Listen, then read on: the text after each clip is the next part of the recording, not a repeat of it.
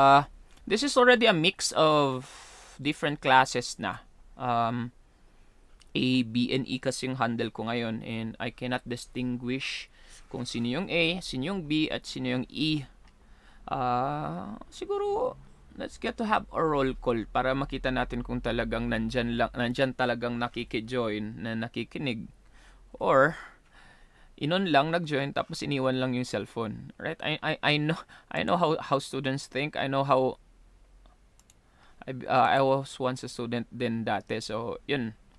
So, get to see some few names that are not uh, hin, wala doong last time sa kan sa wala doon last time sa una nating uh, orientation. Um, I'm not sure if there are still parents here are joining or parents who are around also at the same time that I'm discussing this one. Uh, still have four more minutes. Miss Alena Benoha, what section are you? Anong Sir E. E. Alright, so may E ng isa. Si Miss Lianyo, anong section mo? A po. A, as in apple or eagle? Hindi ko narinig. Apple po. Alright, A, A, so agility. Miss Labag, are you E, di, e, e ka, di ba? Ashra? Ni, iniwan ni Ashra yung cellphone niya. AFK ata to. Hoy, Ashra. uh, ito si Miss Ngao. Or what section are you? Sir A. A. So, dalawa ng A. Wala pang B ah. Miss, Miss Bungseo. Anong section ka? Or AFK din si Miss Bungseo. Miss Torado. What section are you? Sir B. B. Alright, so may B ng isa. Uh, huh, may B na. Are you related with the Torado na grade 10 ba yon ngayon? Manong mo ba isona? We know. How are you related with that one? Torado? Yes, sir. Ah, okay, okay. Kasinsin mo da Julian. Na Versosa. Yes, sir. Ah, okay, sige. Uh, J. Badival, what section are you? B, sir. A as in apple. B. Ay, B as in boy. Okay, okay. Yes, sir. B kasi sa your advisor is Ma'am Jessa who will be coming back on April, uh, no, March 28 after her uh, two months of her maternity leave. So, yun. Okay, nag-reply para si Miss Bongsiu through chat. Alright. Uh, Mr. Badival, are you related with the Badival of the grade 9 right now? Kasinsin, sir. Ah, kasinsin mo. Okay, okay. Sa nandal ko matisuna di last year. Mr. Vlogs, ito si Mr. Alwaden. Alwaden Vlogs, yung pangalan niya. What section are you? Sir A. A. Uh, Jorain De La Cruz. E, sir. Ah, E as in E as in Eagle. Alright. Jorain Yes, De La sir. Cruz, what section are you? Sir E. E. Are you related with Jorain na nasa US? Magkalapit, hindi po. magkalapit kay kasi ng pangalan. Joray kasi siya. De La Cruz din. Ah, kina Renali. Ah, magkalapit kasi ng pangalan. Joray siya, Jorain. Alright, Miss Benito, what section are you? Sir E. E. Ang dami ng E ah. Parang ito yung konti na last time. Is, kayo yung marami ngayon. Miss Karamto, what section are you? A, sir. A as an apple. Miss Milo, sir. what section are you? Ang section ka? AFK ata si Miss Milo. Miss Ignacio, what section are you? Sir E. E. Ang dami niyong E ah. Are you supporting your brother's race tomorrow? Yes, sir. Ah, kasi, kasi I'll be there also supporting Team Bike Rack kasi. Yeah, parehas kasi. Pero kuya mo 'di ba si Franz?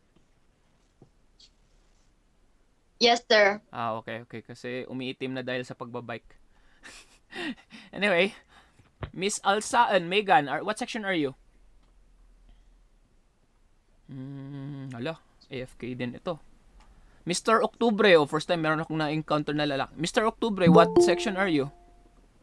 Sir E. E, ang dami yung E ah. Very good. Yung letter E ah. Parang ano bang ginawa ni Sir Jumong sa inyo?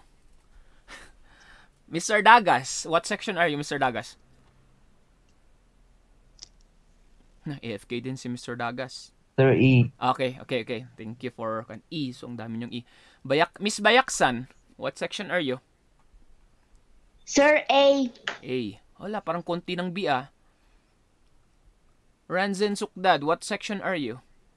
Sir A. A. Tapos, si Miss Raisa, what section are you? Sir B. B. Oh, parang tatlo pa lang yung B ah. This uh, Miss Felix, what section are you? Hello? Miss Felix? FK din ata to. Agility po, sir. A. Alright. Trisha, yung section ka? Sir E. E. Alright, so I'm seeing that there are many section E's right now. Uh, yun. Mm, Some are still coming over and it's already 9.01. Um, we, are, we are around 25 here right now sa klase. And as, as, by my, as per my experience before, no, uh, habang tumatagal yung klase, uh, kumukonti yung nagjo-join. And I'm hoping that uh, we had a great start with having around 25. No, I'm I'm thinking na sana until the end of the last day that we'll be discussing the lesson, eh, andyan pa rin kayo. Alright? Now, this morning I get to uh, see some others who are actually have passed already yung lessons 1 to 3 nila. Uh, they have dropped down the hard copy of their activities just yesterday or maybe this morning doon sa school. Now, some others have even already made a video about making the kite, which is your performance task, which is okay. Okay naman yun. Uh, yun, so, yun na nga. Pero, uh, Carl, asan si Carl? Nag-PM din si Carl sa akin, si Gawi din.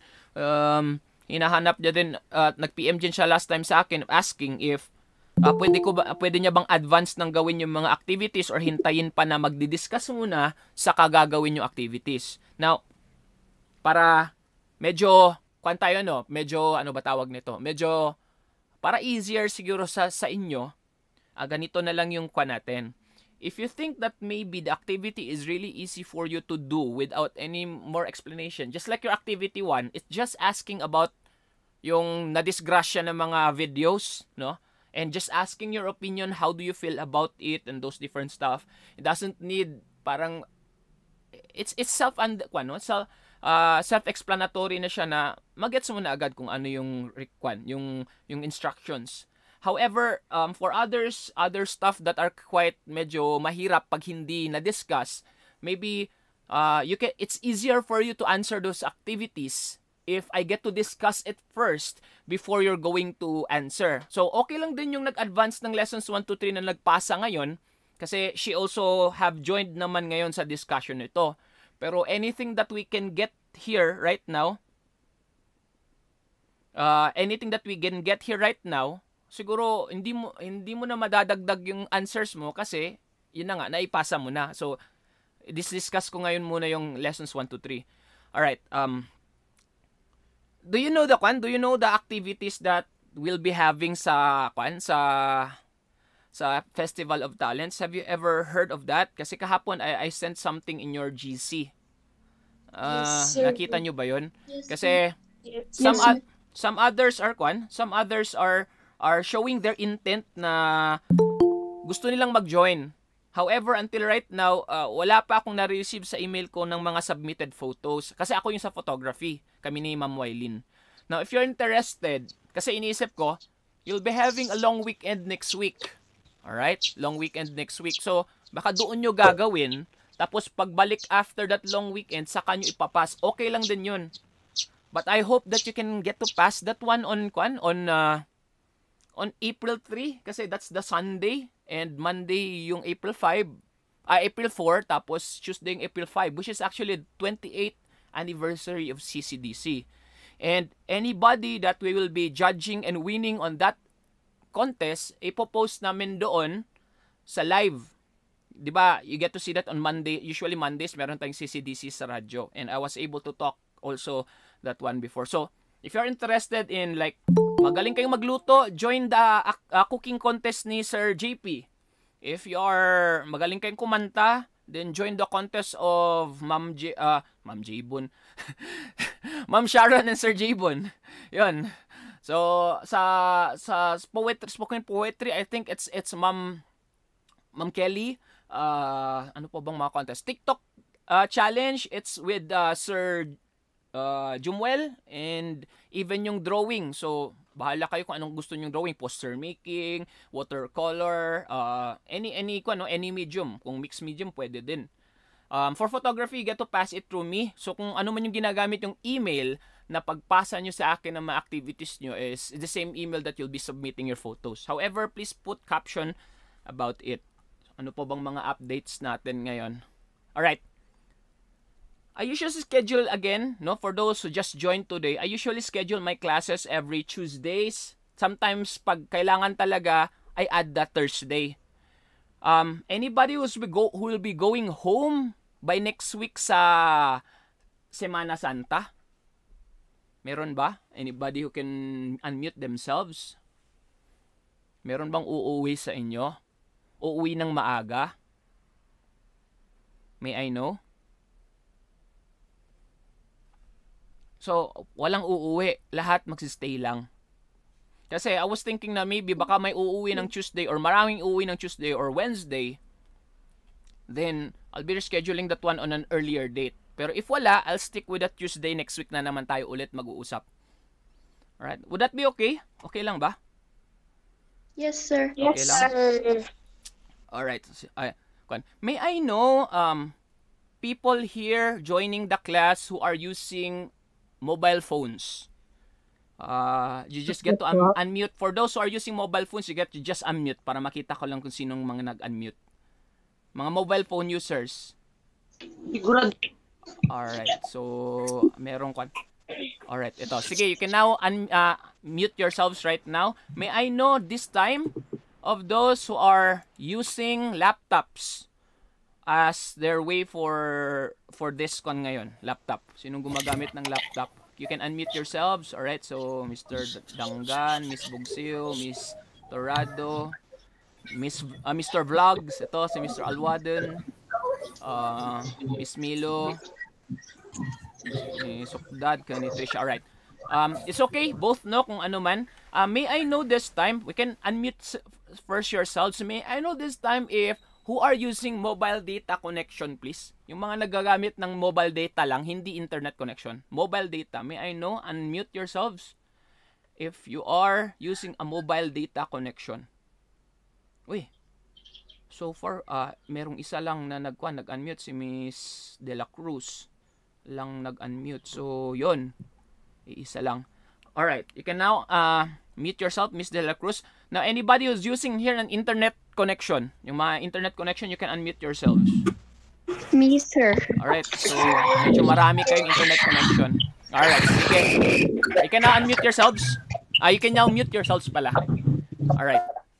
Thank you very much for, ano, kasi I'm trying to see a survey of how things would go on para malalaman ko kung yung kwan kasi. No? Uh, three sections tayo dapat and in a one section is around 40. So kung 3 3 times 40 would that that would be around 120 students. Pero right now we're only 27. Alright, so yun. Now, okay, sige, so much with the announcements and even the updates. I'll be updating you later on na lang be, uh, before we get to end this class. However, um, I'd like to introduce to you to a site uh, named Kahoot. If you are in, uh, if you are familiar with Kahoot, are you familiar with Kahoot? Na-try nyo na ba ito? No, sir. Kahoot. Sir. Uh, let me share to you my screen of Kahoot. I hope that you get to see that one now that I'm sharing.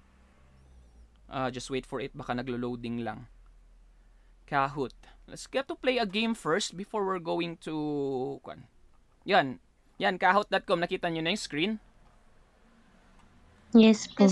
Yes, sir. Alright, so would you like to play a game for a while just for us to be able to refresh ourselves? Hindi to, kwan, hindi to pataasan ng score kasi hindi ko pa naman ituro, na ituro ito. So, anything goes, no? Kung ano lang yung ma-remember nyo. Would you, would you like to play? Laro tayo? Isasend ko yung link. Yes, sir. Isasend ko yung link Yes, sa sa chat. Alright? I'll be sending to you the site sa chat. That would be kahoot.it. Kahoot.it. Now, you get to click that link para ipunta kayo doon sa site na yon. Alright? Kahoot.it. Alright. If you are, kan, nandun sa Sa group, uh, doon na. Sa group chat. Nakita nyo na ba?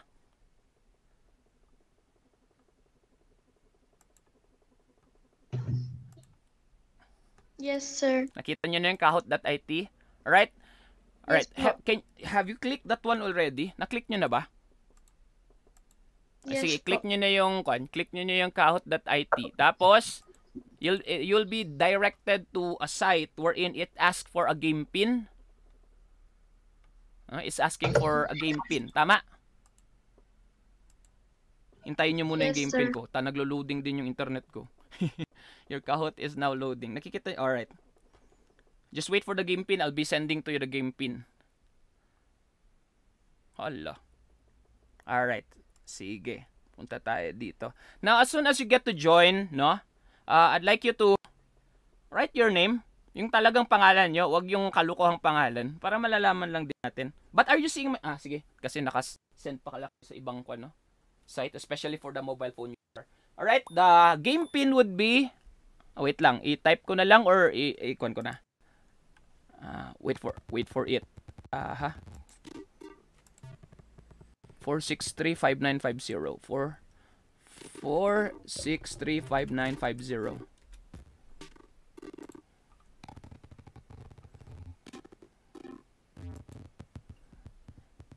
Alright. 4635950, that would be your game pin. You can now input that one and place your name there. That'll be waiting for you. To, meron na si Miss Asra, si Lorraine, naka-join na.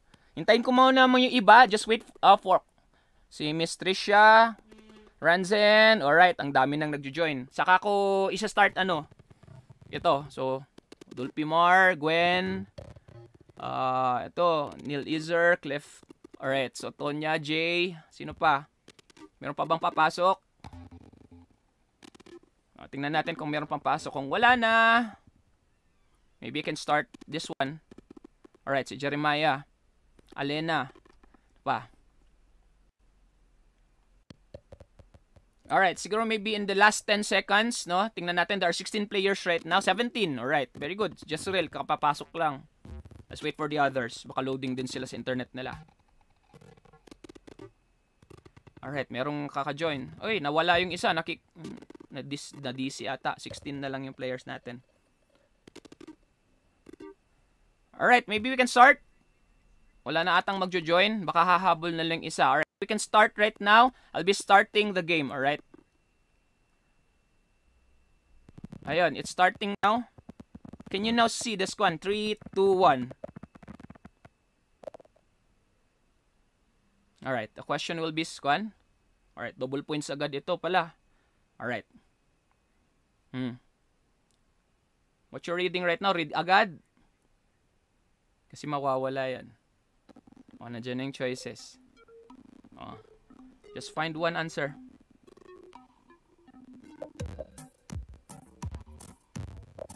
Nine, eight, seven, six, five, four, three, two, one. Alright? So, ayun.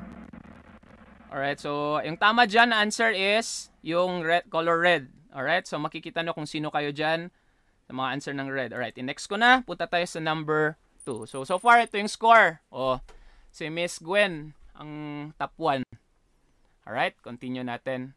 Alright, so ito yung mga top, top 3. Alright, tatay. Next tayo. Bawi-bawi. Alright. True or false? When you increase mass, then acceleration will decrease. True or false? 4, 3, 2, 1. Alright, nakahabol. 18 answers. Alright, so so far merong 12 na nag-true at 6 na nag-false. The answer would be true. Alright, let's try to see the score. Oh, na-overtaken si Miss Gwen ni Jezreel. Alright, so so far these are the top 5. Nakikita nyo ba yung screen? Can I hear voices? Nakikita nyo ba yung screen? Yes, Alright, yes, very sir. good, very good. Alright, so let's get to play the third one. Sampung question lang ito. This is the tendency of an object to resist motion. Alright, find your answer. 20 seconds, 15. Last 10 seconds.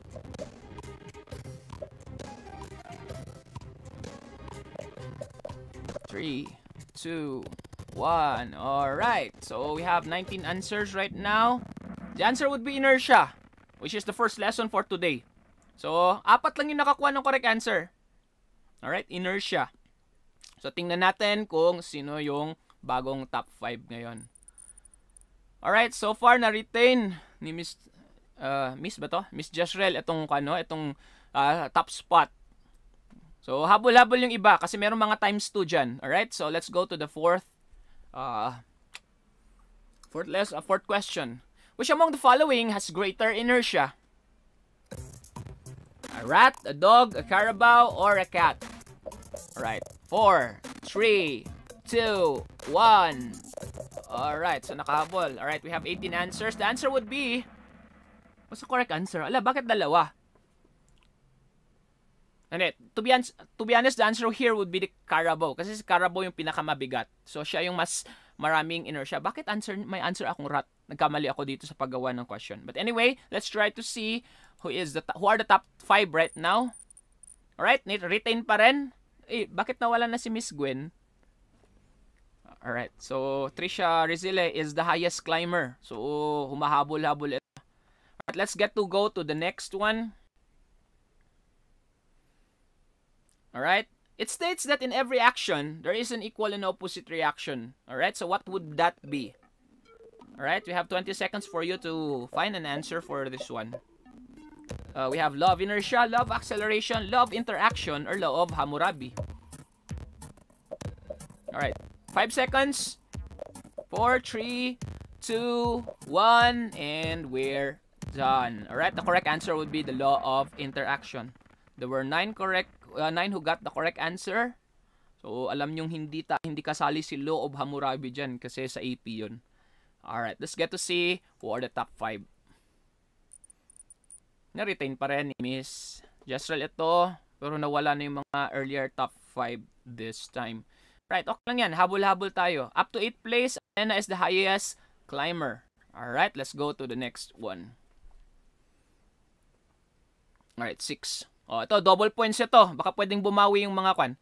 Suppose you're an astronaut floating in the outer space. What will happen if you were to push by your fellow astronaut? So we have 20 seconds for this one to find. Suppose you are an astronaut floating in an outer in the outer space. What will happen if you were pushed by your fellow astronaut? Tinulak ka daw. Nasa outer space ka, nagpo-float-float doon. Tapos tinulak ka. Last 3 seconds.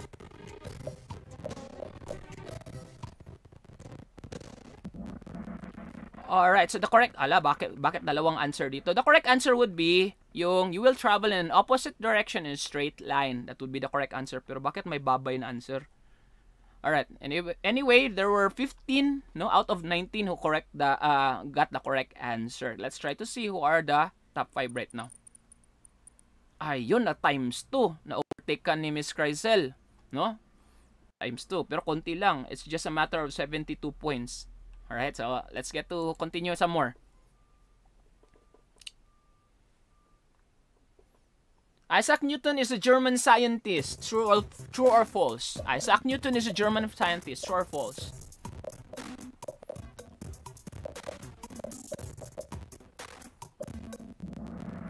Alright, the answer would be false. Hindi po siya German. He is an English scientist. Taga-England po siya. Right, so 16 got the correct answer while three others have the different answers. Let's try to see sino yung bagong top kwan. Alright, humabol si, si kwan, si Clef. Right, top 4 right now. Right, let's try to see some more. Na-retain latan nung dalawa yung scores nila. Alright, so let's try to continue some more. Oh, last two questions. Oh, double points ito. Panghabol na naman sa mga hahabol. What was invented by car manufacturers to lessen inertia? What was invented by the car manufacturers to lessen inertia? Windshield, brakes, seatbelt, or rubber tires? Again, windshield, brakes, seatbelt, or rubber tires. Times 2 po ito, double points. Double points. Alright, 5 seconds. And the answer would be, ano yung answer nyo, the answer would be seatbelt. Alright, so, Anim yung nakakuha lang out of the 19. So try natin tingnan ngayon ano yung standing. Ayun, ni-retain ulit ni Mr. J- ah, Miss Jezreel tong kanya. Ang layo na, 2,000 points yung difference. Alright. Let's try to go to the second to the last question. Double points ulit. Ang pambawi. What is the relationship between force and acceleration? Choices are inversely proportional, it's complicated, directly proportional, or single. So, ano yung relationship nila? Ni force at saka ni acceleration. It's complicated, single, married, inversely proportional, directly proportional. Alright, ano ba? Right, last second. Alright, let's try to see. The answer would be directly proportional. Pag malakas yung force mo, malakas din acceleration ng isang bagay. Alright? The more force you put, the more acceleration is also happening to that object. Alright? Let's try to see. 11 ang nakakuha out of the 19. Let's try to see the new standing. Ay, yun, highest climber, Miss Lorraine. Alright. Oh, last question. Last question ito. I think uh, the last question will be only one. Uh, one uh, single kwan, hindi double points. Let's try to see who will retain the in the top 5. Last question. O, double points pala, panghabol. What of motion do you think governs in skydiving? Alam niyo skydiving, nagpo-float sa hangin, yung parang ganito sa picture. Alright? Fourth law, first law, third law, or second law?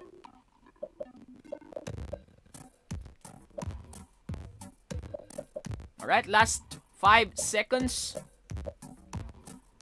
Alright, last one. Alright, so pumasok na lahat ng 19 answer. The answer would be the third law or that would be your law of interaction. Alright, so anim lang yung nakakuha. Let's try to see now and congratulate the top 5 of this game. Alright, top 3 si Miss Lorraine. Very good. Top 2 si Miss Ngao. And top 1 si Ranzen. Uy! parang nagpatalo lang. Runner-up si Clef at saka si Jezreel. Alright, parang nagpatalo lang si Ranzen nung first. Pero humabol din sa dulo. Alright, I'll be stopping this one already. And let's get to proceed once again on the room. Alright, so ayun. Congratulations. Alright, I'll be leaving this one right now. And let's go back to the room. Alright. So how do you see the game? Kumusta yung game? Hello? Sir, enjoyable. Okay lang? Kumusta? First time nyo bang nag-join ng mga ganong uh, na, nakalaro sa Kahoot? Yes, sir. It's your first time? Yes, sir. Alright. So how do you see it? Is it uh, maganda ba? Yes, sir. Yes, sir. Alright. So Yes, sir. parang kwan. Pero it's, it's okay no? It's okay for you to not be on the top 5 kasi hindi ko pa naman itinuro ito. Medyo magdududa na ako pag puma- sumali ah tinuro ko na tapos hindi pa nyo pa rin get. So doon tayo. So yeah no um so much more about it. Let's get to na proceed to the lesson proper. Alright. So i-share ko na lang yung entire screen ko. Alright. So, we'll be we'll be having some more of that one next time, no? If if you like you like it more some more of that one bef- next time. Yes, sir. Alright. Yes, sir. Alright, sige. Let's let's get to enjoy kon. Medyo hassle lang na gumawa pero sige, it's okay if uh, yan yung gusto nyo. Alright, so uh, uh, at least hindi na kayo ngayon kon. You're not already um not familiar with Kahoot, you're already familiar with that one. So, let's talk about your lessons 1 to 3. However, medyo malab- mahaba ito and we already have spent mga 23 minutes na from the time. Alright, so punta tayo sa lesson 1. Love motions. You have your kwan? Your uh, your Mojos with you beside you? Yes, sir. Alright, Yes, sir. let's proceed. Alright, the person behind. So, yung true or false kanina about asking if uh, si Sir Isaac Newton ba is a German scientist. No, he is not a German scientist. He is an English scientist. Pag English ka, saan ka galing? Hmm, Saan galing yung taong English? America. American, no? Sir, Britain. Britain. But what specific part in Britain? Kasi Britain is Sir, divided England. Alright, very good. Very good. England. Kasi Britain is actually a United Kingdom. So it has four kingdoms, I believe. We have Scotland, we have England, we have ano pa yung isa? We, ah, Wales? Wales, I think. And meron pa yung isa eh. Ah, Northern Ireland. So, yun. So, pag Ireland, Irish. Pag England, English. Pag well, Wales, Welsh. No, ganun. So, galing sa England si Mr. Isaac Newton. Alright? So, meron tayong sinasabi nating Newton's three laws of motion. Newton actually is the pioneer of those things that is happening right now to us. Yung nangyayari sa atin every day, meron talagang nangyayaring law of motion. What comes into your mind when you talk about motion? Ano bang meaning ng motion? Anybody who can, who can uh, just unmute themselves?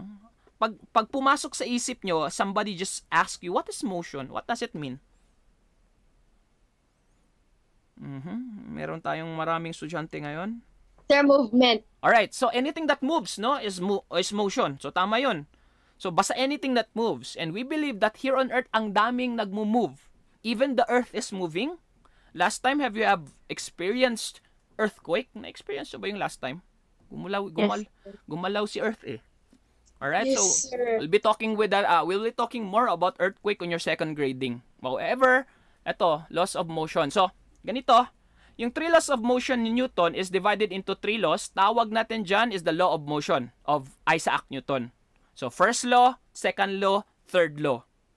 Just be mindful, itong mga na, pangalan ng mga law na ito ay hindi pwedeng pagbaliktad, baliktad, baliktarin. Ang first law talagang kay inertia yan, law of inertia. Yung second law talagang kay law of acceleration yan. Yung third law talagang kay law of interaction yan. Hindi po pwedeng magkapalit-palit yan na sabihin mo, first law is law of interaction or first law, law of acceleration. Hindi po pwede. Now, if you have your your your modules with you, you already have answers to those blanks there that you have. 'Di ba? Meron akong pinasabi diyan na ano pangalan ng first law. What's the name of the first law? Do you see that one in your modules right now? Kita nyo ba sa modules nyo right now? Yes, sir. Alright, so yun na. Yun na nga. Pwede nyo nang sulatan yun. Sa mga nakikita nyo ngayon sa screen. Alright, so those are the names of the laws that we have. Can I now move to the next? I don't worry. I'm giving uh, a copy of this slide sa GC for your as your basis or your reference. Okay lang ba? You'd like to have a copy of this slide that I'm I'm using right now? Yes, sir. All right. Yes, sir. All right, sige, let's get to proceed. Doon lang naman yung answer. What does the first law state? Anybody has an idea of what's the first law state or the law of inter uh, the law of inertia? Anong sinasabi ng inertia? Meron ba kayong answer? Meron kasing nag-pass na ng answer eh. Sino ba yung nag- nag-PM sa akin kaninang umaga? Somebody just PM me na nagpasa siya, nag-drop na siya eh. What is the first law state? Ano kaya? Anybody? Merong naka-answer na nito that maybe you can you can you can read about it. Or maybe somebody's using a laptop and alt-tab kayo dyan tapos naginugol nyo yung first law of Newton. Anybody would like to share to us that one?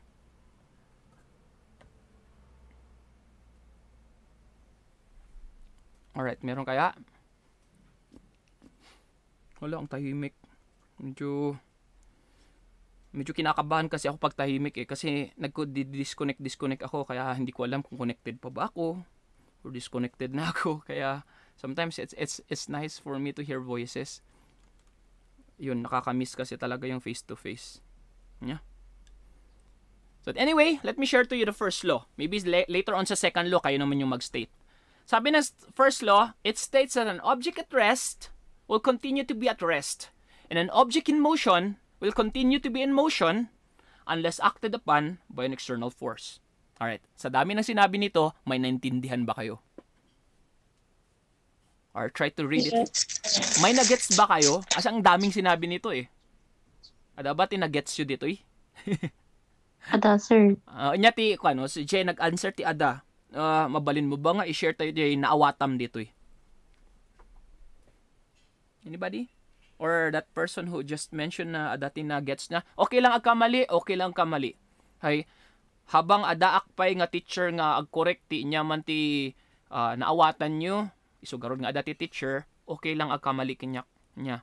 So, nya, kumusta? Nya ti naawatam dito eh states that an object at rest will continue to be at rest and an object in motion will continue to be in motion.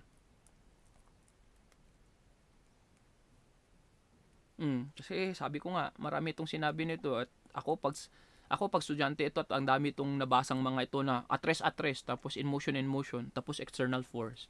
Ano kayang ibig sabihin nito? Kasi we are always governed by this uh, law of inertia every day. Right? When you talk about your law of inertia, ito yung sinasabi na ang isang bagay na gumagalaw, gusto niya, gumagalaw na lang yan forever. Alright? Ang isang bagay na gumagalaw, dapat gumagalaw siya forever. Let's say for example, if an object is sliding, sliding on a snow, or maybe a person who is sliding on a snow will continue to be sliding and sliding and sliding and sliding until forever. Yun. Or, ang isang object naman na hindi gumagalaw ay hindi yan gagalaw forever. Do you do you do you agree? Isang bagay na hindi gumagalaw, hindi yan gagalaw forever. Would you agree? Or Yes, sir. Depends. It depends. Oh, yung nag-depend naman, nagsabi ng depend, an pa, bakit mo sinasabing it depends? What what on what grounds does it depend on? Oh, hello. Salita kayo para mas ma-lively yung ka natin. Anybody from from the fun? I, I get to hear voices of females. How kumusta naman yung mga lalaki? itaas naman natin yung bandera ng mga lalaki dyan na sumali at mag, mag magsalita. Right? Alright. Think of it this way. Sabi ko nga, ang isang bagay na gumagalaw, gumagalaw yan forever. Isang bagay naman na hindi ga, gumagalaw, hindi din yan gagalaw forever. It only happens in an ideal state. Dito kasi sa Earth, maraming mga external forces which is already have mentioned here in the last words of this statement. Ang daming external forces. Andyan si gravity. Alam niyo ba si gravity is a force? Yes, sir. Alright, alright. Right, si gravity. So, yun nga, si gravity yung humihila sa atin pababa. Alam niyo ba yung friction? Friction. Yes, sir. Yes, sir. Yes, Oh. sir. Ano yung ah, ah, give me an example of a friction na nangyayari. Friction. Ano ba yung friction? Rubbing your hand. All right, rubbing your hand. All right, so when you rub your hand, what do you feel? Anong nangyayari pag nirarub yung hand? What do you feel? Oh, na, subukan nyo ngayon i-rub yung dalawang kamay nyo. Ano yung nafe-feel nyo? Sir, pudot-pudot. Alright, so umiinit ano, Miss Benito. So, tama yun. Um, just imagine, friction happens when there is a rough surface. Rough po na surface. Hindi man natin masyadong makita yan na rough, pero if you're going to look at that one in a microscope, makikita natin na rough pala yung skin natin. At some point, kahit ilang lotion mong nilagayan, meron talagang konting roughness yung skin natin. And because of that roughness, because of that, no, nagkakaroon tayo ng friction force. And that's the reason why it turns into heat later on umiinit.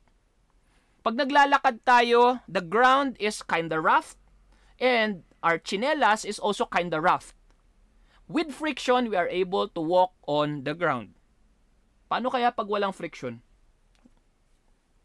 Paano kaya pag walang friction? Anong mangyayari? It's gonna be cold without the heat. All right, it's gonna be cold without the heat. Or if you're if you're walking and there is no friction, what happens to you? What happens to you if you get to kan uh walk tapos walang friction?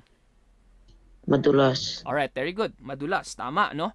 So tama 'yon. Kasi pag imagine mo, talagang makintab yung ground and yung sapatos mo rin pudpud or yung tsinelas mo pudpud tapos makintab na masyado yung ground, slide ka talaga. So, walang friction doon, so therefore, magsa-slide ka. So, you can say that later on, no? Paano mo masasabi? Is friction important or not?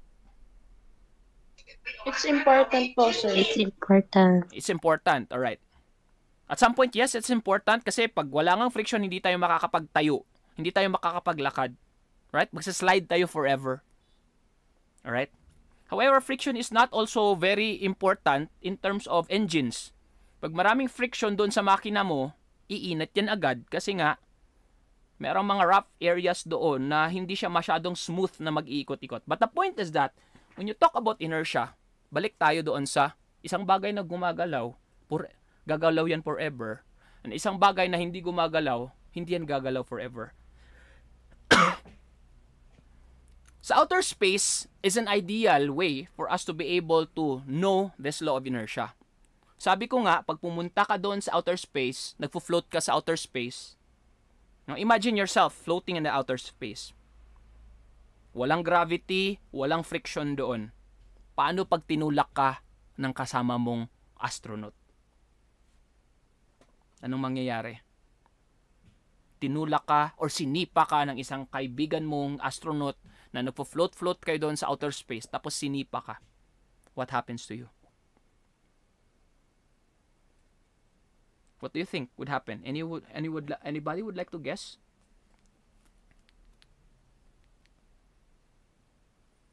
Hmm? Hello? Meron ba? Hala. Baka DC ako. Hindi naman. Anybody from the guys?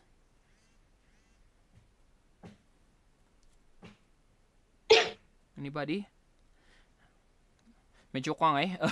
Hindi ako at ease pag ako lang yung laging nagsasalita kasi I'd like to get uh, um, comments about you. Even if it's wrong, even if it's just a guess, it's okay for me to magkakamali kayo kasi that's the reason why I'm here. For me to be able to correct whatever is your mga hindi nyo na, na ako nagigets.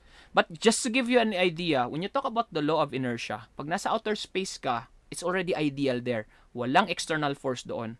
Pag sinipa ka ng kasama mo doon sa outer space na nagpo-float kayo sa outer space, doon mo malalaman na pag sinipa ka at gumagalaw ka, gagalaw ka forever. Ano mangyayari doon? Pag sinipa ka ng kasama mo, palayo ng Earth, sabi nga dito ni law of inertia, an object in motion will continue to be in motion. Pag sinipa ka ng kaibigan mo, forever kang gagalaw na gagalaw palayo doon sa Earth in a straight line. Dito kasi, sa Earth, whenever you throw a ball, the ball should continue to move. Dapat yan. No? If you're going to throw the ball on a straight line, the ball ideally should be moving on a straight line. But because there is an external force that acted on it, meron tayong gravity, ginuyod ni gravity, yung ball pababa, kaya tumitigil na, nagta-stop at nag, uh, nagta-travel si ball. Pero pag walang gravity, saan kaya pupunta si ball pag tinapon mo? In that case, mangyayari po doon, it will continue to move and move and move and move until an external force is acted on it. Now, how about this at rest? Isang bagay na hindi gumagalaw, hindi daw gagalaw forever. Would you agree with this one? Yes, sir. Yes, sir. Alright. Have you seen the video that I sent to you along with your USB about the egg drop challenge? Kasi Hindi pinag- pa po. pinagawa pinagawa ko ito sa kwan sa mga students ko before. All right. Just imagine, imagine natin no, may baso sa baba. Glass. All right, can you imagine? May glass sa baba. Sa glass na 'yon, pinatungan natin ng pinggan. Tapos yung pinggan na 'yon, pinatungan natin ng tissue roll. Alam niyo yung yung parang roll ng tissue pag naubos na yung naiiwan na roll? Yes. Alright. Yes, sir. Tapos sa, sa top ng tissue roll, lalagyan natin ng itlog. Alright? So imagine, at the bottom there is a glass, tapos yung pinggan, tapos yung tissue roll, tapos yung itlog na sa taas. Alright. If I'm going to pull very swiftly, biglaan, yung yung pinggan, saan kaya malalaglag si egg? Masushoot ko kaya si egg sa baso? Masushoot ko kaya si egg sa baso? Yes or no? Yes, sir. Yes, sir. Alright, in that case, that would be the answer. Yes. Anong mangyayari doon? Sabi kasi ni law of motion, hindi daw gagalaw ang isang bagay pag hmm? an object at rest will continue to be at rest. If you get to see the position of that egg on top, no? Pag bigla mong ginalaw no, yung yung pinggan sa baba, you know that that egg didn't go anywhere. It's still the same position at it as it was before because inline siya doon sa baso sa bababa. The point is that kung wala lang sanang gravity, kahit bigla mong hinila yung kwan, yung yung pinggan sa baba, that egg will still stay there on that same position, on that same spot. Kasi tama yung sinabi ni Isaac Newton na ang object na hindi gumagalaw, hindi talaga yan gagalaw. Nalaglag lang kasi yung egg is because there's an external force that acted on it which is gravity. Alright? Pero saan ba natin magagamit si... Nagets niyo ba yung law of inertia? Isang bagay na hindi gumagalaw, hindi gagalaw. Ang isang bagay na gumagalaw, gagalaw yan forever. Yes, sir. Do you get the point? Yes, sir. Alright, saan ba natin magagamit si inertia? Alright? But before we're going to talk about inertia, nung magagamit natin actually si inertia sa road safety. Kaya pag makita nyo dyan, no, if you're going to see on your module, you get to see there, first offense, second offense of those mga yung car seat law, no? Kasi, dahil sa first law of inertia ni Isaac Newton, ang daming nadidiskrasya. That's the reason that's the first activity na nangyari sa'yo. So for road safety, nalaman nila that because of inertia, we need to lessen inertia for us to be able to lessen accidents. And there now rise yung invention of brakes, seat belts, and airbags. Guys, especially yung malalaki dyan. Ah, ako kasi nagbabike ako. I usually go bike every day. Na-try nyo ba na you are moving very fast? You are pedaling, pedaling very fast. Sino bang mga bikers dito? Sino bang nagbabike dito mga kasama ko? Baka nakikita ko kayo sa daan, hindi ko lang kayo kasi mamukhaan. Or baka may mga babae ding nagbabike dito. Meron ba? Wala, walang nagbabike. Alright, ganito. Pero just imagine, nagbabike ako, mabilis akong nagbike. Sabi kasi ni Isaac Newton, an object in motion continues to be in motion. So ako, nagmo-move ako, dapat forever akong nagmo-move. Unless an external force is acted on me. Ngayon, sa bilis kong nagpipedal-pedal, I used my external force and pull the brakes biglaan. Anong mangyayari sa akin? Sir, ma-i-forward ka. O, ano, ah, makita yun nga, nakita, nakakita kayo ba ti biker nga na itayab nga pa forward nga ti mambling-tumbling? Yes, Yes, sir. Say- sayang sayang lang talaga tahan yung an- han ko kami na record jay ngam nagbike kami ni Sir Jumwell especially for se- section E nagbike kami ni J- Sir Jumwell nagbabike kami ti trail tapos tinangyari e jay na ikalso nga jay front tire na timambling adi jay sangok ni Sir Jumwell so timambling so na. Kat sayang lang tahan ko nga na video ngam aramidak ko mga meme diay ngam grabe han ko amo no ag katawa akbaw no ag maasi akta timambling so na nabangking jay manibila na han kami nga pa, pa, pa- papan kami pa lang han kami kay paawid di jay. So tinangyari jay nagmo-move kami ni Sir Sabuno so an, an object moving will continue to be moved tata adat external force nakalso jay front tire na si Mang at jay rear tire na timambling ni Sir Jumwell pasango Jay, so kanahin ko nga malagip diya. Ngam niya tinangyari Jay is because of your tinatawag nating law of inertia, no? Kasi may external force. Nakalso si Sir Jumwell eh. Katumambling. Saka ayun. So, yan nangyari doon. Ganon din mangyayari. For example, if you are moving in a moving car. A moving car will continue to move and move and move until yung si car nabangga sa poste. Anong mangyayari doon sa'yo? Pag nasa loob ka ng kotse. Sir, ma-ipa-forward ka magka. Tama, 'di ba? Kasi yun nga sabi, ang isang object na gumagalaw, gagalaw forever 'yan. Kaya nangyari doon, yung gumagalaw si car at biglang nag-stop. Kasi nga, dating gumagalaw na si car, ikaw na yung gumalaw ngayon. Nai-forward ka, nai-forward ka pasango. Tapno malesen, ti inertia nga mang mangyari ti karakasta, ininbento da tatta, ti seatbelt. Tapno no uray paspas ka nagpataray, nabangga ka man ti poste or pader, imbes nga maitayab ka pasango, adatig igam kenyam tapno malesen ja inertia isujay seatbelt. Nam ti problema gamin ti seatbelt what happens to you if your seat what, what's the reason why airbags right now are are installed? Kasi yung seatbelt kasi medyo ah, paano yun eh old na si seatbelt. Ano bang naririnig nyo kay seatbelt? What you hear from seatbelts?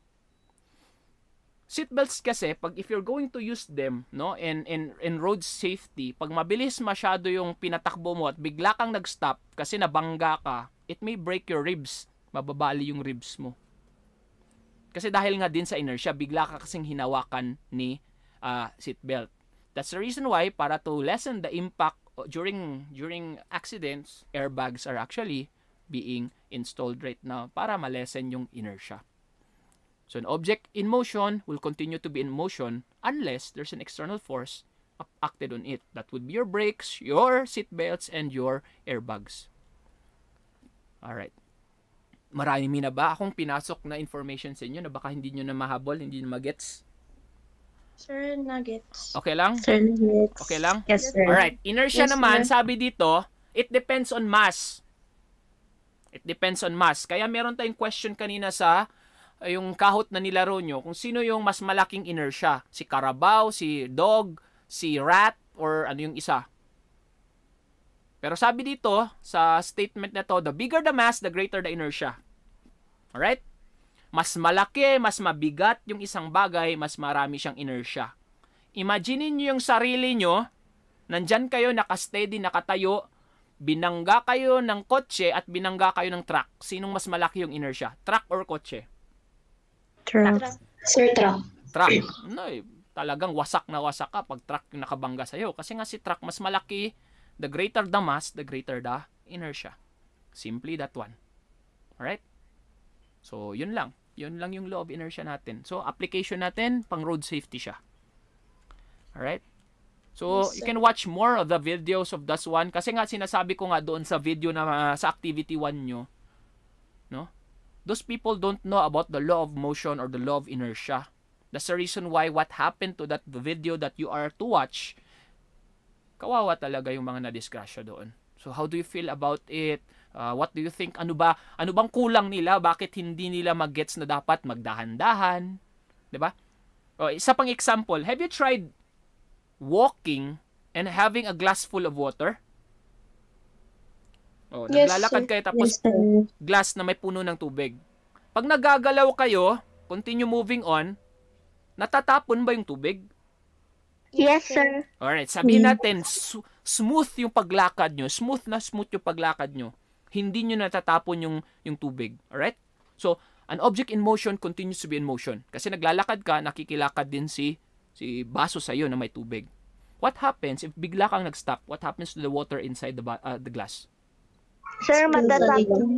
Alright, matatapon. Kasi nga may external force na biglang nagpa-stop sa kanya. Kasi kaila, ang gusto kasi ng isang object, pag gumagalaw siya, galaw lang yan forever. Pero bigla mo kasing nag-stop, so biglang nag-attrest, may external force na nangyari, kaya merong inertia doon, natapon yung tubig. Alright? Parehas din ng mga ganong bagay. Alright, do you get the point? Questions? Yes, sir. Questions for this Yes, one? sir. None, None, sir. None so far? None, sir. Alright, so it's already 12 minutes before 11 at nasa first part pa lang tayo ng lesson 1.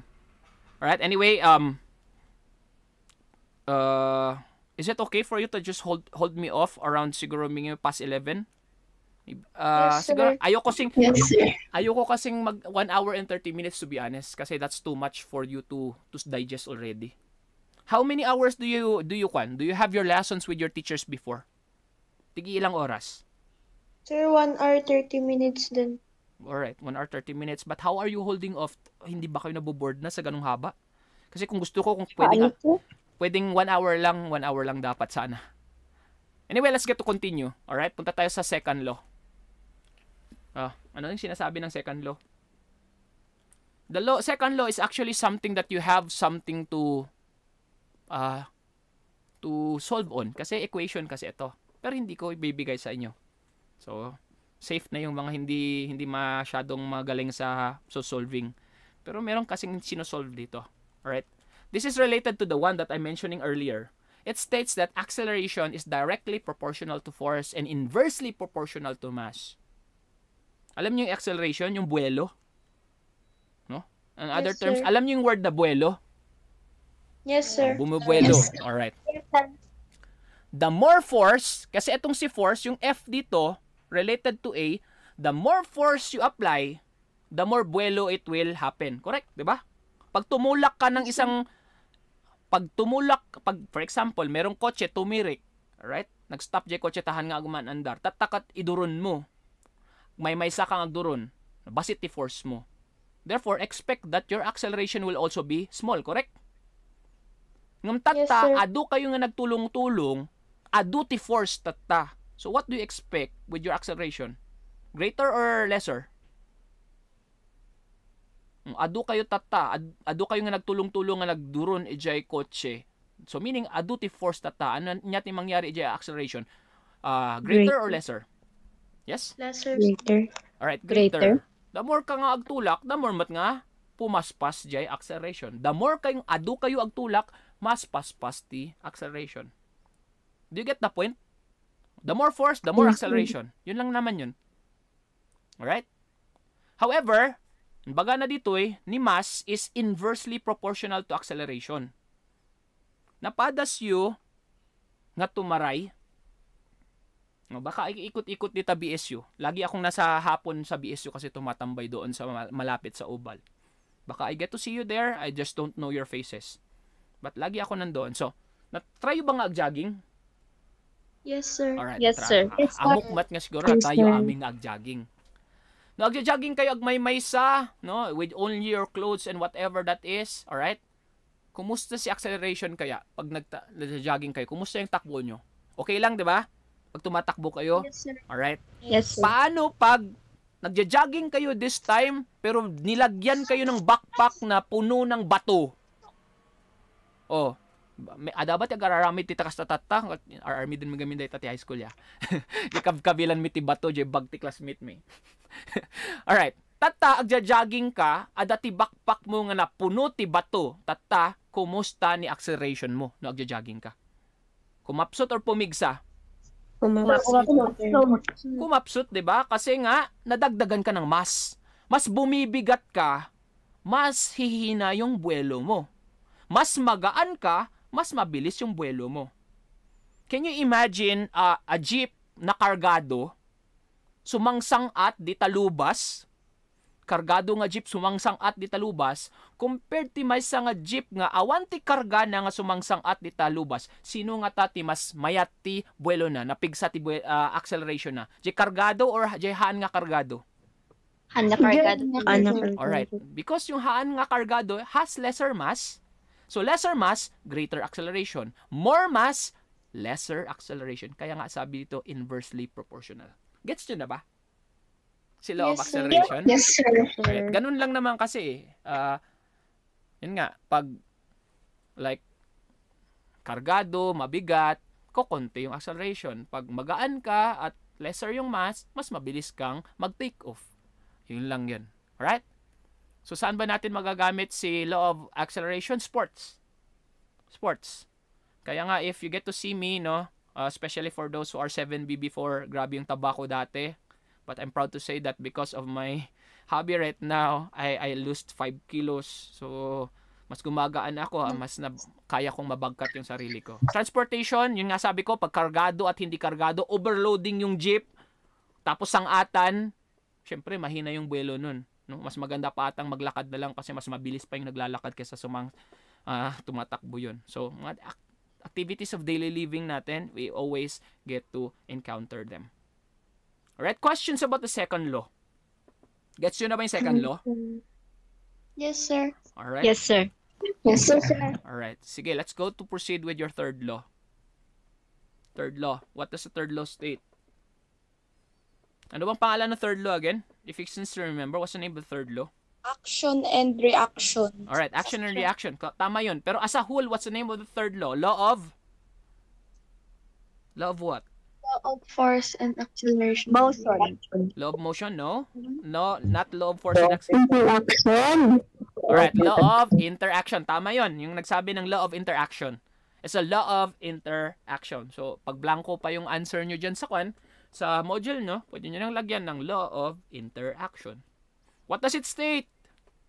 Sabi dito, it states that in every action, there's an equal and opposite reaction. In every action, there's an equal and opposite reaction. Naniniwala ba kayo sa ganitong ah, pangyayari? pag tinulak nyo ang pader, tinutulak din kayo ng pader. Mamati kayo ba, Jay? Yes, sir. No, idurduron mo ti Jay pa, ah, idurduron mo Jay pader, Jay pader met ka nagdurduron kinyam. Would you, would you, kan? Would you agree? Yes, sir. Sir. Alright? Sir. It's just true. Tama yon. Pag tinulak mo kasi si pader, tinutulak ka rin ni pader. Kasi kung gaano kalakas mo tinulak si pader, yun din yung kalakas niya na tinutulak ka. Alright? In every action, there's an equal and opposite reaction. Bakit equal? The same kasi yung strength nyo. Pag tinulak mo ng malakas si pader, si pader tutulak din ng malakas sa'yo. Bakit sabi dito opposite reaction? Kasi pag tinulak mo si pader going to the right, saan kaya nagtutulak si pader? Going to the left. Alright, tama yon. Opposite direction siya. Tinulak mo siya to the right, so therefore si pader nagtutulak sa'yo to the left. So, let me share to you this, kung ano, ah, wait lang, skip natin muna to. Drawing-drawing tayo. Meron ba akong drawing dito? Meron ako pang drawing ata eh. Aha, paano ba mag-drawing? Nakikita niyo may screen ko? Yes, yes, sir. Yes, sir. na. Hindi ako magaling mag-drawing ah. Baka So, sa mga magaling mag-drawing dyan, join na kayo sa contest ni Sir Jumuel. Ay, na di ay. Apay da ito eh. Maglo-loading. Guray. O, Jay. Eh, pasensya ah, anak nga nalaing ag-drawing. Dito Jay Pader. O, baga tayo dito Jay Pader. Ay, ni, apay nga na, na-impis. Paano ba pa, pa kapalin to? Ayun. Highlighter, marker, marker na lang. Ito. Ito si Pader. Oh. Tapos ito yung ground. Alright? Sabihin natin, sino ba pwede nating examplein? Oh, stick, stick na lang kasi hindi ako marunong mag-drawing. Tinulak mo yung pader. Tinulak mo yung pader in this direction going to the right. So, si pader, in what direction does the pader tulak you again? To the Opposite. to- opposite, Left therefore going to or- the left. So gaano ka kalakas tumulak sa kanya going sa pader is the same din yung lakas na tulak balik sa'yo. Do you know boxing? yes, sir. Do you know boxing? Alright. Yes, sir. Boxing, di ba? O, ilaban natin, ilagay natin dito. Yung mga mahilig magboxing sa una na, na- sa dati na nakikipag-meet sa kwan. Nakikipag-meet sa baptisi. Oh. Punching bag. Oh, punching bag ito.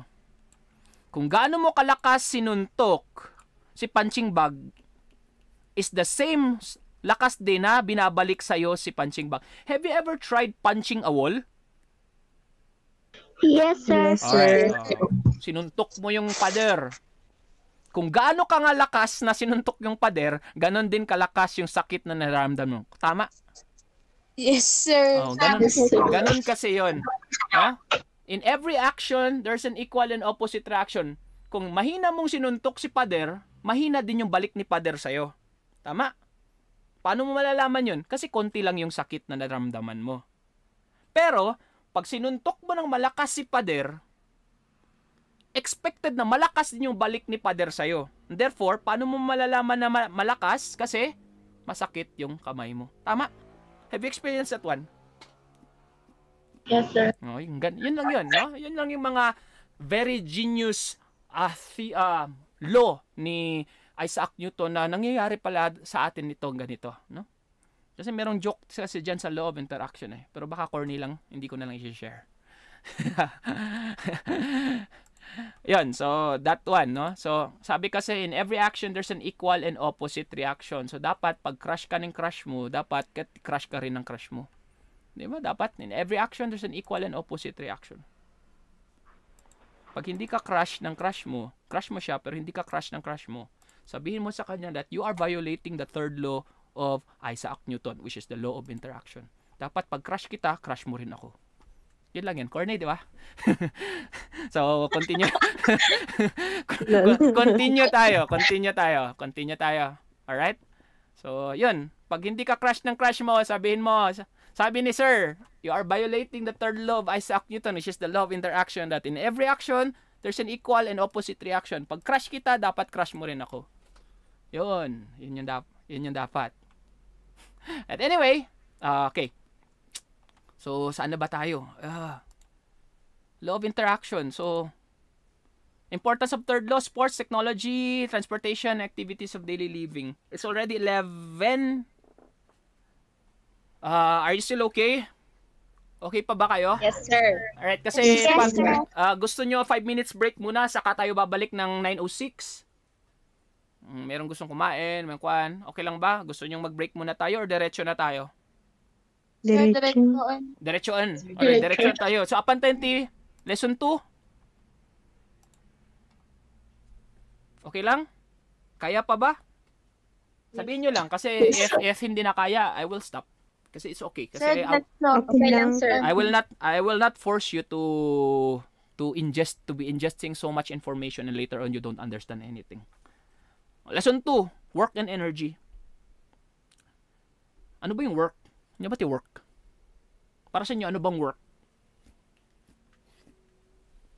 Ano ba yung work? Ano ba yung work? Ano bang work ni father nyo, ni mother nyo? Ano ba yun? It's not the work that we are referring to, yung mga trabaho, hindi po yun. When you talk about uh, work, this is what you call your mechanical work in physics. So how much how much work do you apply in something for you to be able to finish it? Tapos we'll relate that one to energy. But when you talk about work, it's the transfer of energy. See, work and energy are related. You can only work if you have energy. Tama? Makakatrabaho ka ba nang walang energy?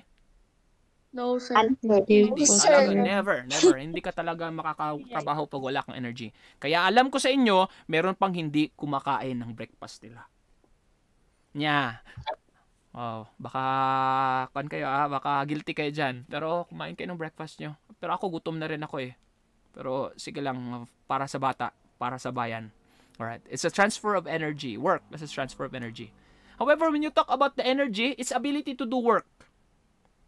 Sabi ko nga, you can only work if you have energy. So, paano to related?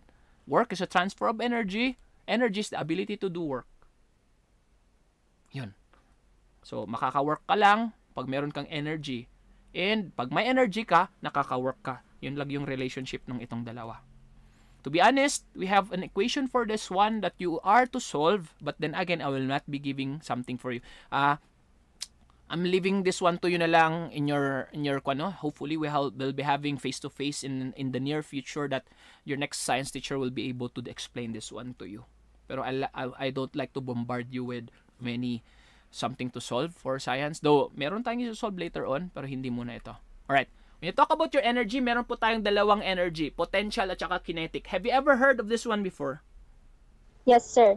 Yes, Alright. sir. Narinig nyo na ito sa first, ah, first, ah, first year, grade 7 nyo. Yung mga under sa akin, I think na, na-istorya ko ito. Nagsusolve-solve pa Yes, tayo sir. dati. Yung 1 half Yes, M. sir. Yes, sir. Alright. Kasi, uh, did, did Ma'am Nicel, especially from CCDCs, did Ma'am Nicel have mentioned this one? Itong types of energy? Meron ba? Did, did she share this one to you? Asra, an, an i-share ko ba dito di last year? Yes, sir. Kung malagip ngamuwen sa Ah, kasi ikaw lang yung kilala kong kan at saka si Mr. Dagas ay Miss Rafa Agustin who were under me before sa grade 7 alright so let's talk about your potential energy and your kinetic energy energy at rest meaning ang isang bagay na hindi gumagalaw may energy yan tapos in contrary din si kinetic energy isang bagay na gumagalaw may energy din yan Alright? So, lahat bagay may energy. Alright? Paano ba natin malalaman? Let's talk about your potential energy first. Your potential energy is dependent on mass and height. If you can still remember, uh, it has an equation of potential energy is equal to mass times gravity times height. However, your potential energy is related, dependent on your mass and height. The greater the mass, mas mabigat yung isang bagay, mas malaki yung energy niya. Or, pas mas, pag mas mataas na nga nakasabit or naka, mas higher yung ground nung isang bagay, mas malaki din yung potential energy na. You will see this one in the next photo. Ay, hindi ko pa wala pinakita. Bakit? Hala? Alright. Imagine nyo ganito para ma-explain ko yung potential energy. Alright. may dalawang bola. Right? One is a basketball and one is a bowling ball. Nakakita na ba kayo ng bowling ball? Yes, Yes, sir. Naka, nakalaro na ba kayo sa Puyat Sport doon sa taas ng anong center mall yun kasi merong bowlingan doon eh. Pero may imagine nyo yung bowling ball and tsaka yung basketball. Alright? Imagine that one. Who is heavier? Uh, bowling ball or Bowling basketball? Bowling, Bowling ball, alright? Bowling. Bowling ball. Let's say for example, if we're going to put that one mga 1 feet above you, 1 feet above you, ilaglag natin ng tigi-isa-isa, oh. Una, inilaglag sa ulo mo si basketball. Tapos, mamaya naman, nilaglag sa ulo nyo si bowling ball. Saan kaya mas greater yung mafe-feel mong sakit? Bowling ball or, ah, kwa, or basketball? Pag nilaglag yun sa ulo mo. Bowling ball. Bowling ball. Definitely bowling ball kasi nga mas malaki yung energy ni bowling ball kasi nga mas mabigat siya. The greater the mass, the greater the potential energy. Pag binitin mo si bowling ball at saka si basketball dyan sa, let's say for example sa sa kisame nyo, at nalaglag yan sa ulo mo, mafe-feel mo na mas malaki yung potential energy ni bowling ball. Kasi mas mabigat siya. Alright? Do you get the point of the potential energy? Yes, Yes, sir. sir. Yes, sir. Alright, yun lang yun. Now, how about height? Paano naman si height? Si height naman kasi, let's say for example, imagine this time, parehas na basketball. Alright? Pero, yung isang basketball, nilagay lang natin mga 1 meter above you. Tapos, yung isang basketball, nilagay natin 10 meters above you. Saan ang mas masakit pag nalaglag yung dalawa sa ulo mo? Yung 1 meter 10 above you or 10 meters above you? 10 meters. Alright, 10 meters. Kasi nga, the more height there is, the greater is also the potential energy. Right? So, nakuha nyo na yung point ng potential energy? Yes, sir. Yes, Alright, sir. Ganun lang yung potential energy. Hindi sila gumagalaw because they are at rest, pero they have in energy inside them.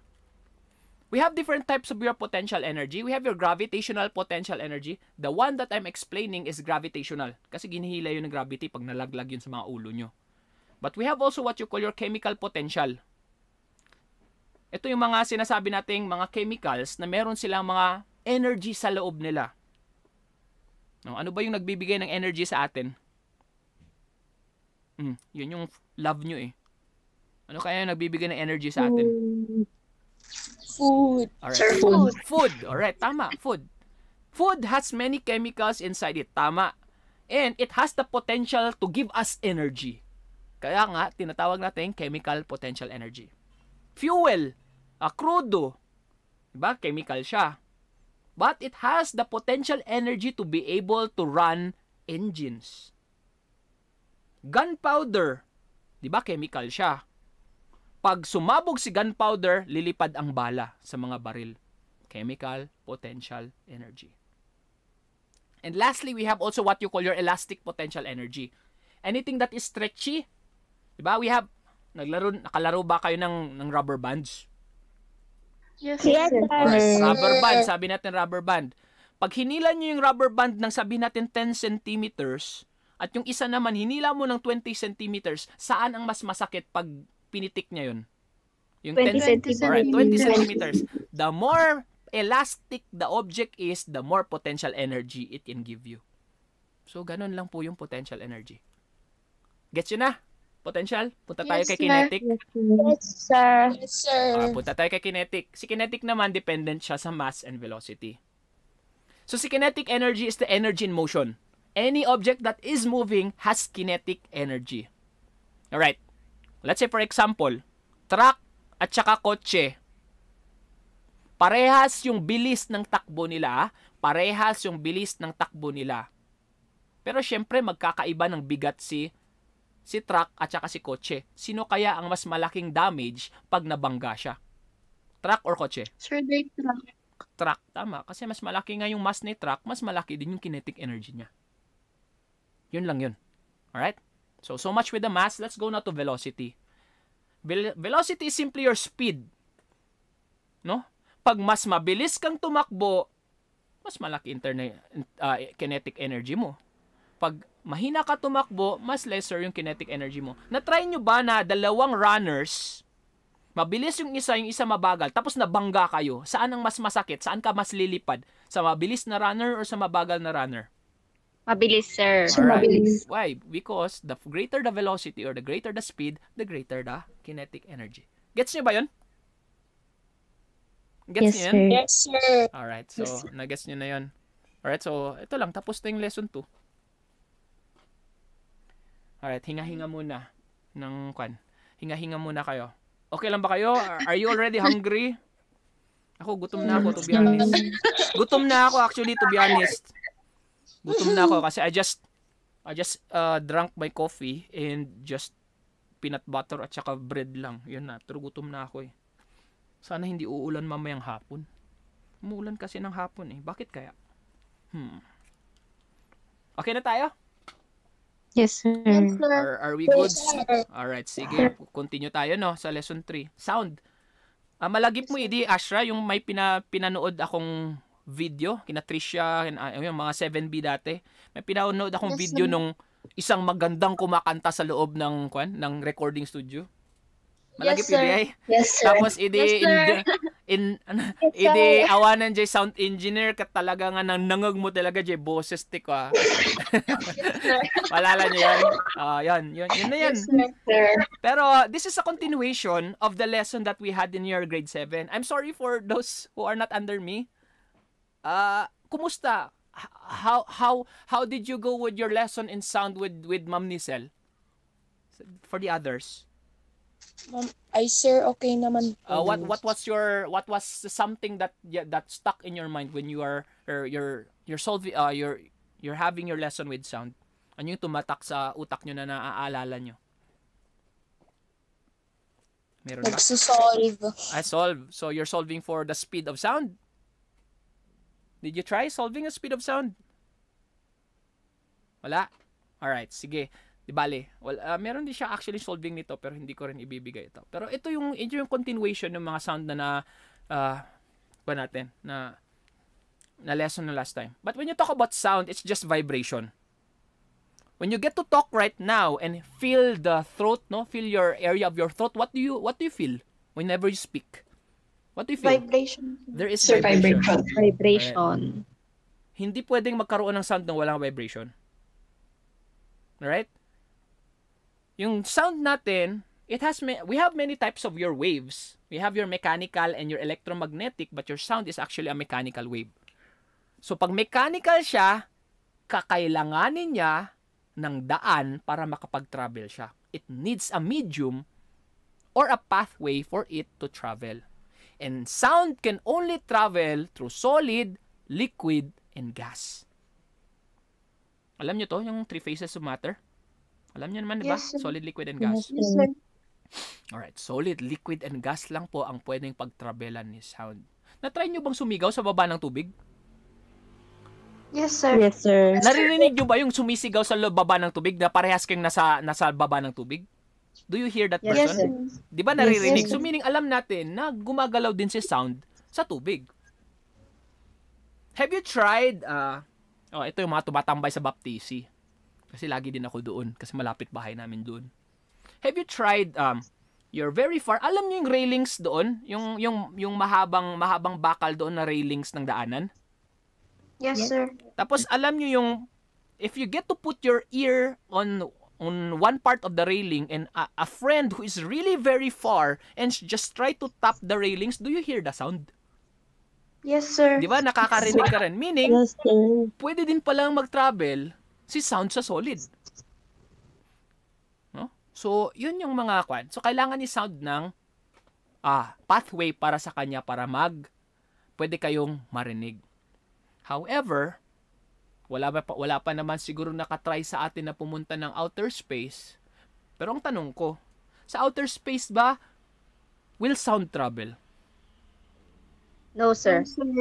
Alright. So, No, sir. sa mga na-under ko, alam nilang no. Kasi sa outer space po, wala pong solid, liquid, and gas sa space na yun. Therefore, pag walang solid particles, walang liquid particles, at walang gas particles sa outer space, walang paglalakaran or walang pathway si sound. And therefore, sound will not travel there.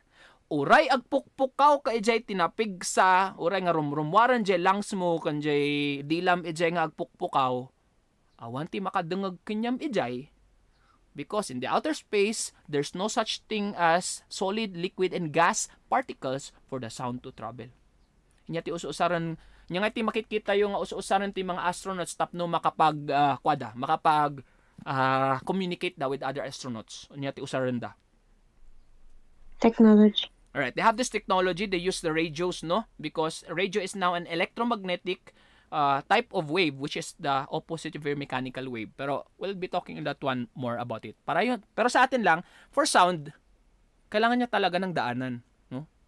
Hindi siya pwedeng mag-travel ng walang daanan. All right, so it needs a medium for it to travel. Later on, tanong ko, hmm, reserve ko tong tanong, saan mas mabilis mag-travel si sound? Solid, liquid, or gas? Saan kaya? Sir, sorry. Solid? Sir, sorry. Solid? Solid. Liquid? Gas. Gas? All Gas. right. So, oh, you have your guesses, no? You have your guesses. Pero let's try to answer that one later. Ay, nandito pala yung tanong eh. Bakit ko tinanong na advance? Alright. Which among the three phases do you think will sound travel? Somebody answered solid. Some others mentioned liquid. Some others mentioned gas. Ano kayong correct answer? Anong sinabi dito? Sa, ano yung tamang answer sa tanong na yon? Solid. Alright. The answer would be solid. Alam nyo kasi sa solid, alam nyo yung mga particles magkakalapit-lapit. 'Di ba? Sa liquid naman, medyo may konting layo-layo. Kay gas naman, medyo malayo sila. Tama? No? If you get to imagine the particles of a solid, liquid, and gas, tama? Yes, sir. However, bakit mas mabilis sa solid? Kasi pag ang isang particle nag-vibrate, natatamaan agad yung mga malapit na mga particles kaya napatransmit agad yung sound to the next particle. If one particle vibrates, the other particle right away vibrates because they are so close with each other. So when one vibrates, the rest vibrates. However, for liquid, merong konting distansya siya, no? Kaya pag ito nag-vibrate, kailangan mong medyong lakasan para matbangga niya yung mga ibang mga particles for the sound to travel. And lastly, saan pinakamahinang mag-travel si sound? It's on gas. Because it needs a very strong energy for you to be able to vibrate one particle to hit another vi- particle and vibrate this one and hit other particle for you to be able to transmit sound. Nagets nyo yung point? Bakit mas mabilis si solid? Yes, sir. Alright? Yes, sir. Bakit kaya? Because of the word? Anong yung nandito? Uh, you get to see? Particles. Particles are closer to each other. When they are closer to each other, there is better vibration and travel of sound. So, na-answer na natin yung question na sinong mas mabilis. And again, what's the answer? Kung sinong mas mabilis? Solid. Alright, very good. Solid. Alright, and this time, pero mas mabilis pa pala kay liquid kaysa kay gas, di ba? So, pag nagsumigaw ka sa baba ng tubig, parehas kang nasa baba ng tubig, mas mabilis mag-travel si sound. Pero pag sigaw mo, nakainom ka rin ng tubig. Na-try nyo yun? sa swimming pool, pag sumigaw ka, imbes na sa sigaw mo, kat nakainom ka rin ng tubig. Tapos Yes, na, sir. tapos na feel mo, bakit medyo uminit yung tubig? Anong duda nyo doon? Apa yung pumod po, pumod pumod dyan ito, danom ti swimming pool. Amo yun. Please don't do that. Baka adan ti nag-isbo, tapos nag nagriyaw ka. So, na, naspak. Alright. Have your characteristics of sound. We have your pitch. Narinig niyo ba yung word of pitch? Yes, sir. Yes, sir. Yes, sir. Alright, so pitch yung parang highness and lowness of sound. Alam niyo yung babaeng mataas yung boses niya. "Ah," Ganun? Ariana Grande. Oh, Ariana Grande, for example. Ano yun? High pitch, low pitch? High pitch. High High pitch. Narinig niyo ba mag-sound si yung kwan, yung boses ng karabaw or cow? Yes, Yes, sir. sir. Ba, ang- Yes, ang sir. kapal, Yes. ang, ang kapal masyado. Ganun. Diba? Lowness. So ano yun? High pitch, low low pitch? Low pitch, Low, sir. Low. pitch. Alright. So, yun yung low pitch, highness. So, yun lang yung characteristic ng sound. Alam nyo ba na nakakabasag yung boses ng kwan? Ng... Do you know that voices can Yes, actually sir. break glasses? Yes, sir. Yes, sir. Alright. Yes, sir. Totoo yan. That's the reason why I'd like you to look at their activity for for sound about a small guy. Nakita nyo ba? Napanood nyo na ba yun? Nabasag, Yes, sir. nabasag niya yung kwan. Nabasag niya yung ba- kwan? Nabasag niya yung uh, yung goblet, Bas- yung yun yun, nabasag niya, 'di ba? Anong ginawa niya doon? Anong nangyari doon? Bakit paano niya nabasag? Hmm? Pero if you are asking if totoo ba na kayang-kayang magbasag ng boses, ayan, vibration. Tama. Pag na-match mo yung frequency ng glass at saka yung boses mo, it will vibrate very strong that it will match your frequency of your voice and that object and it will break. Or more than that frequency. So, yun. Yun yung sinasabi nila, no? Kaya, to, kung merong nagtatanong, sir, ba, totoo bang nakakabasag yung boses ng kwan, ng, ng glasses? Yes, it's true. Only if you get to match the, the frequency and even or higher frequency than that object. Kayang makabasag. Have you ever seen like movies like X-Men? Yung mga pa- superpower superpowers? Yes, sir. Diba? Yes, Pag sir. sumigaw, talagang Yes. lilipad ka. Yes, sir. Alright? Talaga kasi may energy si sound. Sound is actually an energy. Have you ever put yourself near a very big speaker?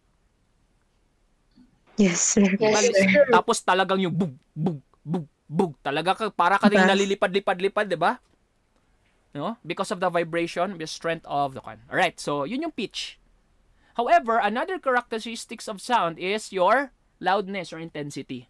Simply, this is your volume.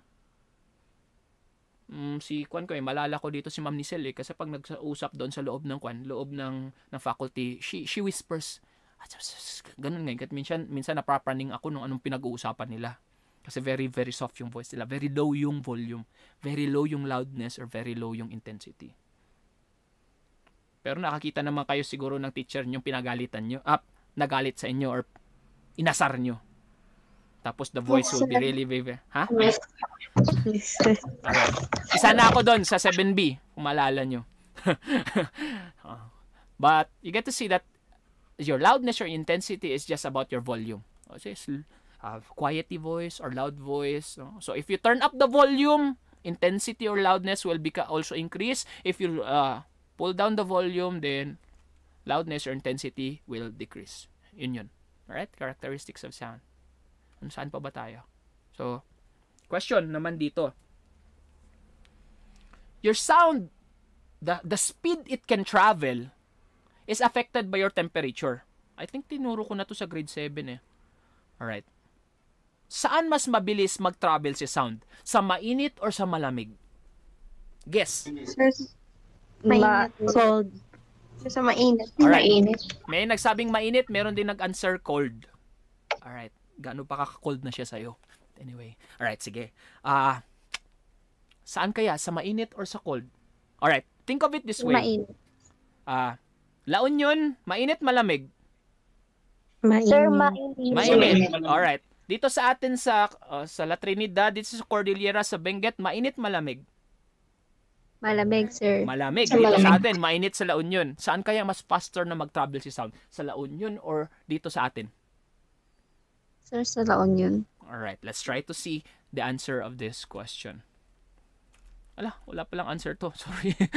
Ang correct answer dito is that sa mainit mas mas mabilis na mag-travel si sound. Mas mainit, mas paspas na mag-travel si sound. Yun lang yung point doon. Kaya nga pag sa gabi ngay, pag i-compare mo yung tahimik, pagiging tahimik ng Benguet compared sa tahimik ng La Union pag gabi, mas talagang tahimik ang Benguet. Kasi, it's a cold environment wherein sound will travel not fast. Mabagal ang travel ng sound. Therefore, ang tahimik talaga pag gabi dito compared pag nasa La Union ka. Kasi mainit doon.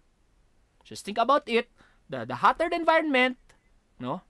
The cold, uh, the hotter the environment, the faster the sound will travel. Right?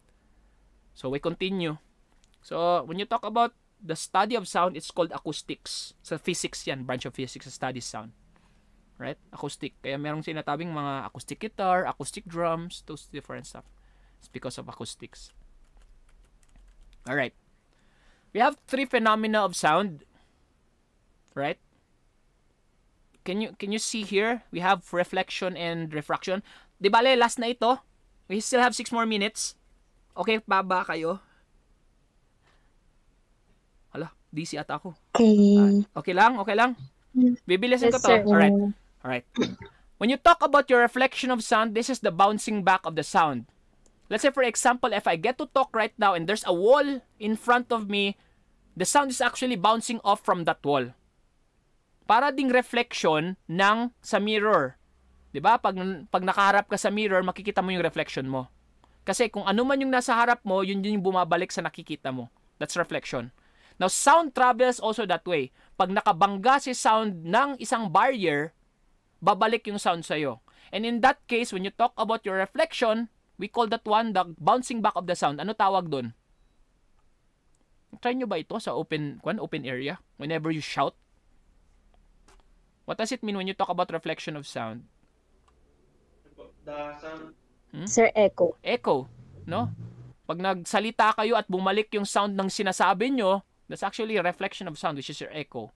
When there are multiple echoes now, we call that one your reverberation or simply your reverb. Uh, this is usually used by mga sound engineers. Alright? When you talk about this time, no, reflection is simply yung pagbabalik ng sound. But there is another phenomena of sound is what you call your refraction. The bending of sound. Pwede palang mag-bend si sound. Can you imagine sound bending? Traveling tapos nagbe-bend? Yes, sir. Mhm. Alright, sound bends when there is a temperature differences in the air. Sa araw kasi, mainit sa baba, malamig sa taas. Yung hangin. Pag sa gabi naman, baliktad. No? Malamig sa taas, ah, mainit sa taas, malamig sa baba. Kaya nangyayari dyan, nagbe-bend si sound. Kasi nga sa differences ng init ng hangin. Alright? Alright. Let me leave you with this question. Bakit kaya yung mga concert natin sa gabi ginagawa? Bakit kaya most of the concerts gabi siya ginagawa, hindi araw? Anybody would like to try and guess this one? Sir, kasi mas malakas pag gabi. Malakas pag gabi. Mm, Sir, be- not, not exactly. Kasi, yes, because, sige, continue. sir, because they, ay, they, Sige, continue mo lang. Sige lang, okay lang data. ako ma-explain. Sir, mas na kuha ngay, they sound nurabiita, mas maag, Sige lang, sige lang, sige lang. Nya ba tinawatam? Agbebend mat day tawen agpaiso. Nurabii, nya timang mangyari. sir, mas ma-cold day temperature, tas mas ag kuha day sound. Alright, sige. When you talk about why are concerts usually done during the night and during the day, it's because of the differences of the temperature the night and the day. Sabi ko nga, pag, pag sa araw, mainit sa baba, mata- malamig sa taas yung hangin. Pag sa gabi naman, malamig sa baba, mainit sa taas yung hangin. So anong nangyayari? Nagbe-bend ng parang ganito. Can you see now the screen of how it bends? Yes, sir. Yes, sir. Yes, sir. Ito, nasa taas na picture, ito yung sound na nangyayari pag sa araw. Mainit yung hangin sa baba, malamig yung hangin sa taas. So ano nangyayari dito? Itong nagtutumpeta, itong tao ito, alam natin na mas malak mabilis mag-travel si sound sa warm kaysa kay cold. 'Di ba? Kasi sabi ko nga, mas mabilis sa mainit kaysa sa malamig. So ano mangyayari dito? Mabilis na magta-travel, mabilis, mabilis, mabilis, mabilis. Tapos tumama doon sa cold air, anong mangyari? Bumilis or babagal? Sir. Babagal. So nangyari doon, mabilis, mabilis, mabilis, biglang bumagal, nag-curve up si sound. Nag-bend up yung sound. Ito pag sa araw. Pero sa gabi naman kasi baliktad din. This time when it's during the night, cool air is at the bottom and warm air is at on the top. Anong nangyayari dyan? No? Sound will travel in the warm air very, very fast. Pa, sige, mabilis, mabilis, mabilis. Pero kasi si cool air nasa baba, what happens is slows down and therefore, the sound will bend going down. Nakita niyo na yung difference ngayon ng, ah, ng, ng, ng sound travel during the day and during the night. Nakita niyo ito, yung aso na ito, tulog. Kahit merong nagtutumpeta dito. Can you see it? Can you see that one? Yes, sir. Yes, sir. Alright, di ba? Kasi it curves up. Therefore, hindi pumupunta doon sa dog yung sound. Kasi nga, ganito yung setup ng hangin pag araw. Pero pag gabi, nasa warm air sa taas, cool air na sa baba, the sound, the bending of the sound will curve down And directly, that sound will go to the dog and that dog will hear that the person who is doing uh, playing his trumpet. Ganito din ang nangyayari pag nagko-concert sa gabi. Di ba? Usually, kat nasa stage yung mga nagko-concert tapos audience nasa baba. Tama? Yes, sir. Di ba ganun? Yes, sir. So, syempre, pas, para mas ma-appreciate mo yung banda or yung concert, mas gusto mo na yung sound diretso sa'yo na, na, na naririnig mo. And that's the reason why concerts are done during the night is because it bends down directly to the audience. As compared during the night wherein the sound curves up or bends up, hindi mo masyadong ma-appreciate yung sound. Now, do you get the point now of refraction? Gets nyo na ba? Yes. Alright, so, yan na yun. Ah, tapos na tayo. so, yan na yung mga activities nyo na ihahabol nyo for next week. Uh, discuss tayo ng Tuesday, ano? Tuesday, last before we're going to have our our our vacation starting on Thursday, sat Friday, Saturday, yon. So, magdi-discuss pa tayo sa Tuesday if okay lang. Yes, sir. Yes, sir. but uh, with the the one that you have right now, these activities right now, you can actually now scan ito. Uh, do this one. Uh, your kite kasi is related to your law of motion, the three laws there. And I have questions there aside from making the kite, kung which among the three law does does it affect for making the kite fly. So, alin sa tatlong law ni Isaac Newton doon ang nagpapalipad sa kite? Is it the first law, the second law, or the third law? Alright, so, pwede nyo na ito, madali lang itong activity 1, si activity 2, madali, madali lang din ito. Tapos si activity 3, ito yung nakabasag ng kwan, nakabasag ng baso. So, yun, may answer lang kayo. Tapos self-assessment, this is about sound, I think. Baka pwede na yung first self-assessment. So, paano kayo mag-pass? Sa akin kasi, meron yung iba nagpapass lang isang bagsakan. Okay lang din yun sa akin. Pero meron din yung ibang nagpapass through online na pag natapos kayo agad, pasa nyo agad through my email or through my messenger, okay din yun. So as soon as you finish one, you can you can you can pass it right away. Huwag nyo nang hintayin yung deadline. Alright? But I will deadline this one maybe next week, maybe Friday next week if you are not busy with the vacation. Yun, so kahit Friday next week ito. Okay lang ba? Yes, sir. Yes, sir. Alright, so medyo nag-overtime na ako. Um, lampas na ako ng 2 minutes, so hindi ko na kayo iha- i-kwan. But before that one, meron mga, mga tanong, questions? None, sir. None Sir so, Awan. none so far. So kung wala, I will not hold you longer because I'm also hungry na. so I will be sending the copy of this activity uh, of the PDF of this one sa GC natin for you to have something to work on or to record on. Alright?